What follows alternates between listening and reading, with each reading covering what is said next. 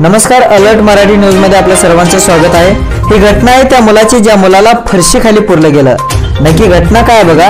जुन्या भांडणाचा राग मनामध्ये धरून अंगणामध्ये खेळत असलेल्या तीन वर्षाच्या बालकाला घरामध्ये उचलून नेऊन सासू आणि सुनेने त्याचा खून केला. यानंतर त्याने चिमुकल्याचा मृतदेह घरातील फरशी खाली पुरला. ही धक्कादायक घटना परभणीच्या पूर्णा तालुक्यातील सिद्धेश्वर कळगाव परिसरामध्ये घडली आहे. गोविंदचा अपहरण आणि हत्या त्याच्याच शेजारी राहणाऱ्या कावेरी बनहरने केल्याचे पोलिसांना समजले. पोलिसांनी तिला पोलीस ठाण्यात बोलून बालकाबाबत विचारपूस केली. त्यावेळी तिने गुन्ह्याची कबुली दिली. जुन्या भांडणाचा राग मनामध्ये धरून बदला घेण्याच्या उद्देशाने कावेरी आणि तिचे सासू अन्नपूर्णा यांनी गोविंदला अंगणातून उचलले.